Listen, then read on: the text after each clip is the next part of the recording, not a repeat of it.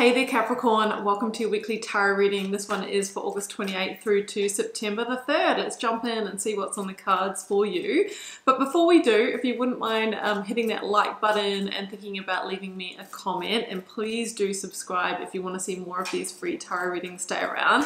It's all engagement based here on YouTube with how far these videos go. So if we don't get that engagement, um, you know, pretty much it's unsustainable. So that would be amazing.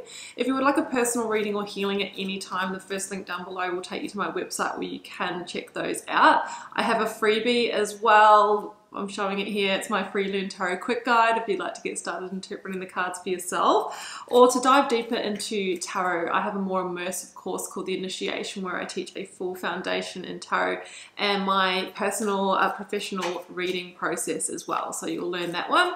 Uh, you can also find the link down there for joining my Karmic community, which is my free email newsletter.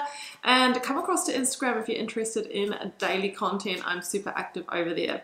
Okay, announcements done, Capricorn. Let's jump in. I'm starting your reading with an oracle card, and I have luck is on your side.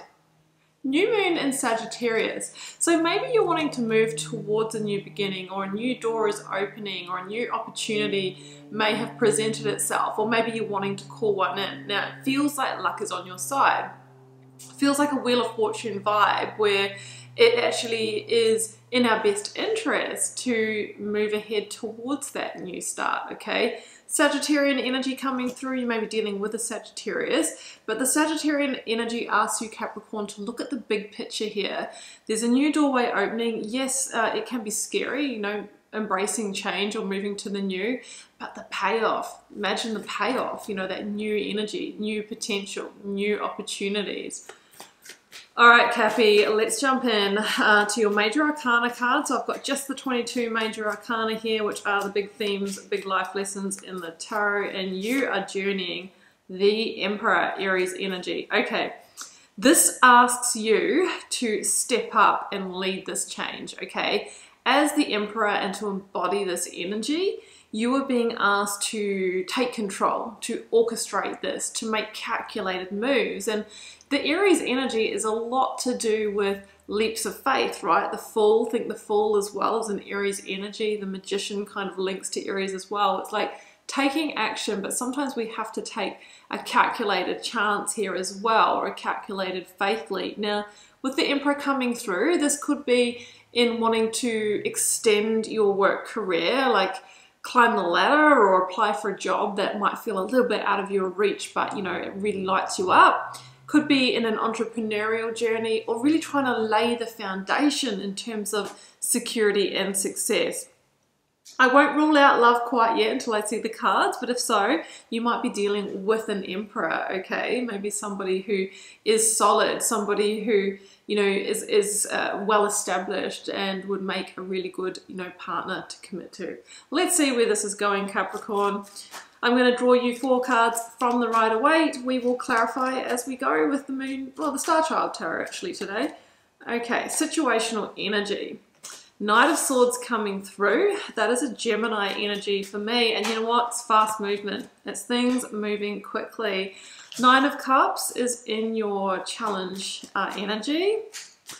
Your advice, Capricorn, in this situation is the Ace of Swords. You know, the Aces are new beginnings. And it's basically saying, look, this is your breakthrough. And it's time to step through that door your outcome. I told you, Wheel of that is so interesting, Capricorn. I told you I was feeling Wheel of Fortune vibes. I also have the Page of Cups at the bottom of the deck, which, um, you know, is that calculated chance, right? and the Fool. You cannot make this up. So, yeah, I feel like we have a divinely guided kind of faith leap or chance here on something new. Now, luck is on your side. The Wheel of Fortune is here with the Page of Cups. Although this might have been sort of unexpected or come out of the blue, like this is definitely leading you to your next significant cycle. Okay. In your situation energy, I've got two knights here. I've got the Knight of Pentacles and the Knight of Swords. Now, these could also actually indicate two different pathways, right?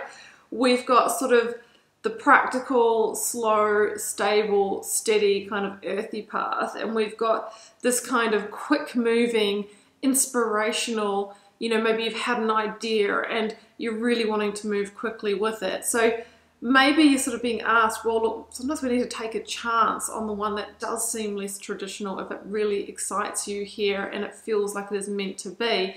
Maybe we need to use a combination of these energies because it feels like things are going to move quickly. So just make sure you are well prepared and you do have a plan in place and you are organized as well. That's what I'm seeing here. We've got Virgo energy, we have Gemini energy. So, you know, there's an opportunity coming. Maybe that door has already opened for you, and you know, you're being asked, okay, let's move towards this, but let's pace ourselves. Okay, yes, it's going to move quickly, but can we sort of be organized and hit the milestones within this? Luck is on your side. And I feel with the Wheel of Fortune, it's like that wheel is always turning anyway. Now, whether we catch a ride with it and say yes to it is up to us. And yes, we can miss energy and miss potential. Often if it's meant for us, we'll, you know, get another chance at it later. Um, but then maybe we've, you know, just, you know, elapsed more time when we could have been moving towards this potential in the first place. Okay, so Nine of Cups is in your challenge position and it now comes through with the King of Wands, Leo energy here. Like we've just moved out of Leo season and this was the season really to follow big calls of the heart. Okay, we went through Lionsgate on the 8th of the 8th, which is a huge activation of this energy. So I feel for most of you, this opportunity may have started presenting, um, you know, in August, maybe a little bit earlier here. And really, you might have been maybe those two energies that kind of slow and quick with the two knights. It's a, when one moment you're in this mind where you want to move quickly towards it, and then the the practical kind of analytical kicks in and you go, no, you know, we should slow it down. We should maybe stay where we are. We should stay grounded. This is more solid. So there might have been a kind of a, a dual mind situation here in your decision making process. Ultimately, the King of Wands is like if you use discernment, right? If this feels lined up for you, if this feels like you're passionate about it, right? Whether it's a, a love or a, a person or you know a place that you're moving towards, if you feel like this has got growth, has got potential, aligns with your values, your future vision, then the King of Wands moves towards it, right? Because the King of Wands is this discretionary eye, this visionary energy to be able to discern, yes, I think this can go somewhere, I'm going to move towards it. And Spirit is saying, you know, this King of Wands is looking up at this Nine of Cups. Spirit is saying, this can actually be a wish fulfilled, right? If you go about this the right way, because the Nine of Cups is a great card of happiness and contentment and satisfaction. We see the new moon here as well. So luck is in your side and moving towards new energy here that you discern is in alignment with your future vision and feels like it can take you places. It can take you to the next level, right? A new level in your career, a new level of maturity, a new level in relationships. That's what we have here. Okay. The advice is the Ace of Swords. And that's to accept this breakthrough moment, right? To accept this breakthrough. It is you getting clear. It's getting clear on what you want to do here. It comes through with the Queen of Pentacles. And the Queen of Pentacles is really saying, yeah, you can invest in this and it actually will become your solid, your stable and it will grow and flourish and give you those results. And this is the entry point to that. So that's a victory energy. It's very much a victory energy.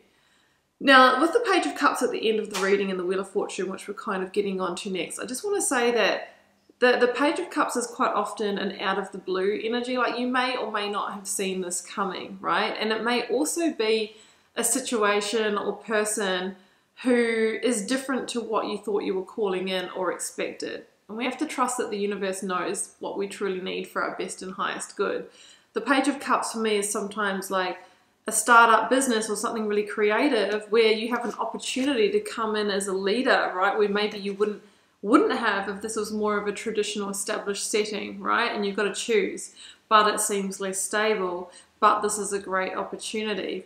It's someone here who might be different from your usual type or the opportunity is different. But the Queen of Pentacles in the advice says, don't let that put you off because this can be stable. This is in its growth phase, but it also feels solid and it also feels secure. Maybe this is how you get to the true win that you are looking for. And remember, luck is on your side. Whoa, okay, let's get your clarifier for the Wheel of Fortune. They are going everywhere. Okay, what is it in the outcome of this reading? Oh my goodness, you will not believe this. Wheel of Fortune clarified with, you want to have a guess? the Wheel of Fortune. Double wafts, my goodness. And Judgment, which is called Awakening, is at the bottom of the deck. So this is powerful, profound change. I don't know if I've ever actually seen uh, Wheel of Fortune clarified with the Wheel of Fortune in a reading before.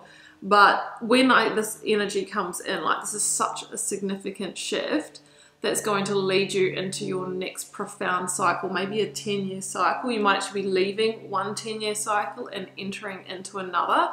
And we've got a little bit of uh, fated events or divine intervention or destiny here. Like this is a major destiny aligning in this moment.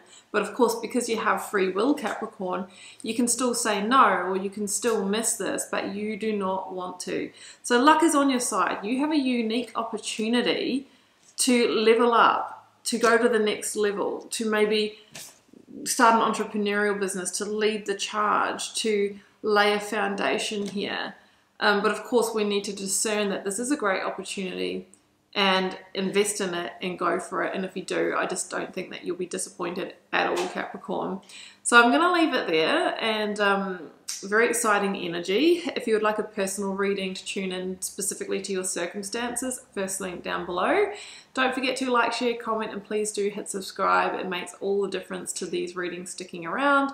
And do come across to Instagram if you're interested in daily content, daily readings from me. I'd love to have you with me. Just wishing you all the love and magic, Capricorn. Do take care. Bye for now.